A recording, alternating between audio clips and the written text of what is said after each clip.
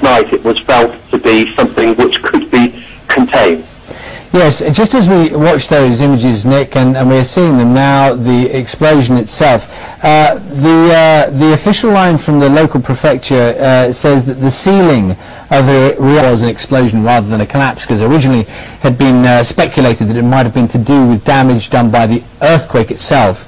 But this would appear, and our experts here in the studio say that is obviously something in, entirely different. Uh, and, and, I don't know what uh, locally what information there's been. Originally, there, there, seems to be some confusion about exactly what was going on there. Do you think people have confidence in the information they're getting now? Charlie, that's very difficult for me to establish from here. There, there are so few people who speak English.